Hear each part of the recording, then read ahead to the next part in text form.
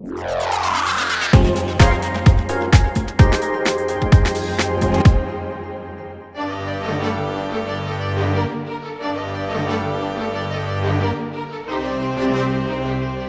In February last year, more than 50,000 union members, students and human rights activists from over 40 countries on all five continents participated in the Mexico Global Days of Action. During six days, people from all around the world came together in an unprecedented show of solidarity with Mexican workers.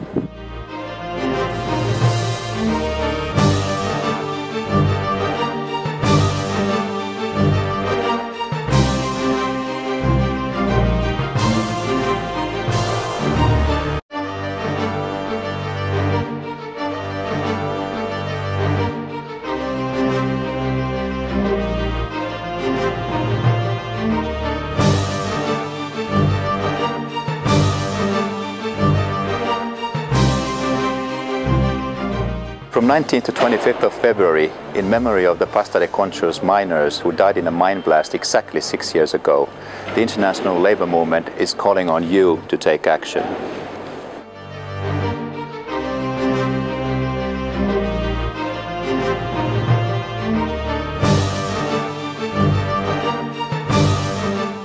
Request a meeting with your local Mexican embassy or consulate or send a letter to them. Follow up on your earlier action and publicize your action on your website and in your publications.